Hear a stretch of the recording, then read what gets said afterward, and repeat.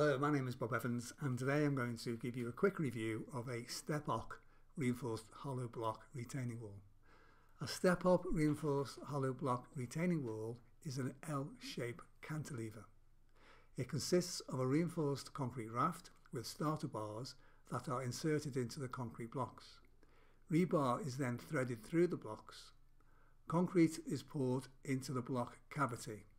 The walls are relatively simple to build by a competent contractor. Stepoc walls are ideal to build where access is challenged and no heavy plant is required. The walls can be built by hand. There are two design options, standard and inverted. The standard design is more common and more efficient. The inverted design needs a key to prevent slippage and overturning as the design does not use the mass sitting on the foundation leg.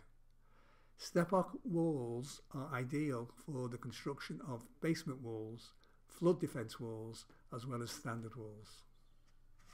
The first layer of blocks is laid on a bed of mortar to ensure the wall is level. The blocks are then laid dry. Formwork can be positioned to add a capping.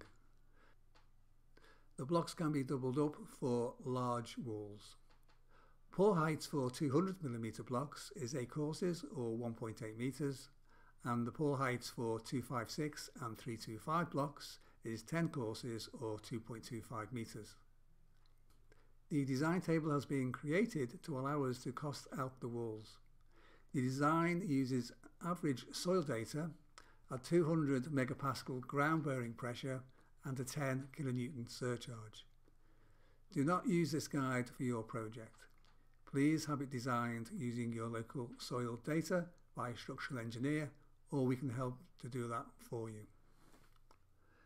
The question everybody wants to know is how much does a retaining wall cost? To answer this question we have created a retaining wall design and price guide.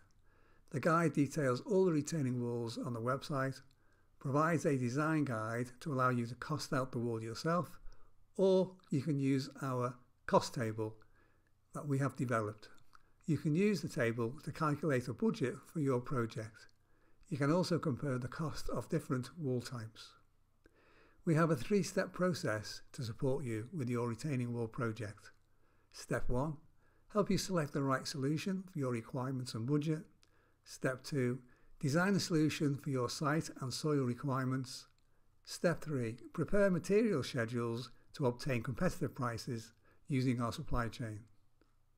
The next step is to ask us questions and tell us about your project. We can then support you deliver it and probably save you some money. Thanks for listening. Bye for now.